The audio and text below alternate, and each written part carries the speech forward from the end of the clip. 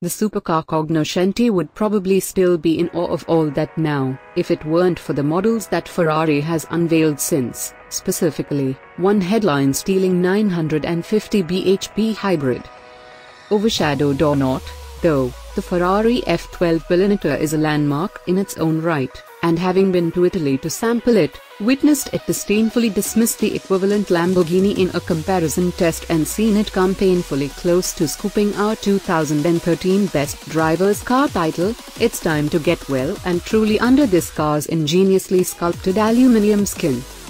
Although Ferrari has been making front-engine V12 Grand Touring sports cars for the road for almost six decades, the car to which the new F12 owes its biggest debt is probably the 275 GTB of 1964.